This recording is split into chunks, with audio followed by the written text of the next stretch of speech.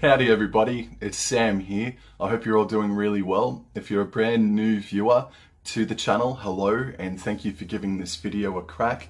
Hopefully I can convince you to give us a sub and a like by the end of the video. What I do on this channel is talk about rugby league predominantly and this weekend we got only two matches of rugby league occurring in Australia but they're two absolute belters for the one and only time in season 2021, Women's State of Origin is taking place live from the Sunshine Coast Stadium. Queensland Maroons host the New South Wales Sky Blues. It's the second year in a row Sunshine Coast Stadium, Queensland, are hosting the New South Wales Women's State of Origin, and Queensland are looking for back to back victories for the first time in a damn long time in the Women's State of Origin because it's been dominated by the New South Wales Sky Blues for well over a decade now. In my opinion, New South Wales is more of the star studded uh, blockbuster side between the two. Uh, you have reigning women's uh, player of the year from last year, Jessica Sergis playing in the centres. You have speedster Botille Vette-Welsh playing at fullback, and you have legendary players such as Maddie Studdon and the captain of New South Wales Sky Blues uh, in Kezie Apps. Both sides have coaches that are debuting this Friday night. So there's a bucket of weight put on the shoulders of both of the coaches, that's for sure. And as for the Queensland Maroons side, there's a couple of really interesting stories. The hooker, number nine, Destiny Brill, uh, swapped or traded uh, over to rugby league from rugby union and she hasn't made an NRLW appearance. I'm not too sure if she's actually signed a contract with an NRLW club, uh, but she's making a state of origin debut at hooker this Friday night and the reports coming out from uh, Super Rugby last year was that she is a superstar, and um, what a loss it, it it's going to be for uh, women's women's rugby. And the same can be said for uh, a debutante as well, coming off the bench, uh, Natasha Purantakinen. She was playing for the Queensland Reds as well, and she suffered ACL injuries and she's making a State of Origin debut this Friday night. Uh, it's just, it'd be just a whirlwind for us. So go to NRL.com and look for the name Natasha Purantakinen and read her story. It's a really nice and really cool story as well. And the captain for the Queensland Maroons is, of course, the warhorse, in my opinion, in Ali Brigginshaw. There is combinations on both sides as well. Uh, you've got, I think, one to six, maybe even one to seven. They're all Brisbane Broncos W players. And we all know how successful the Brisbane Broncos W franchise has been uh, since its inception in 2018.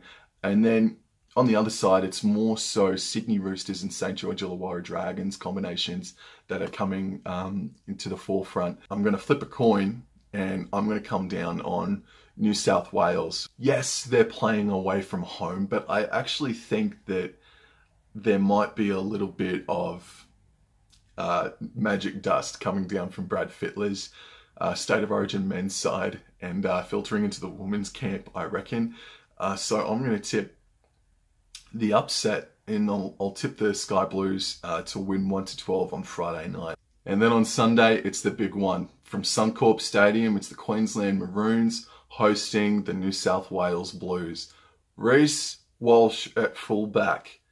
I wouldn't have done it, but if he's got the talent, and boy howdy he does, get it out there. He is going to be so special if he isn't already. And my man, Francis Molo, makes the State of Origin debut this Sunday night at 17, coming off the bench richly deserved. He has been sensational for years for the Cowboys, and I cannot believe that he's going at the end of the year to St. George Illawarra. You bastards have a fair income, good quality prop coming your way.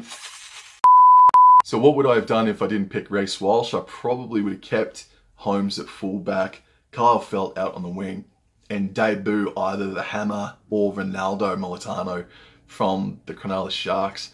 And as for the New South Wales squad, it's still the same blockbuster side minus Jake Trbojevic, uh, and in comes Angus Crichton, who I think Angus Crichton has had a really bloody good season. The first great season in a couple of years, actually. How can anyone tip against New South Wales uh, this Sunday night? So my tip goes with New South Wales Blues by 1 to 12. I don't think we're going to get a half century like we did in game one, but I do think New South Wales will wrap the series up uh, this Sunday at Suncorp.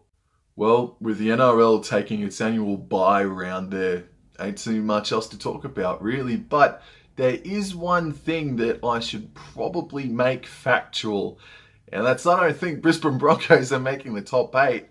Hence, this is what needs to happen now.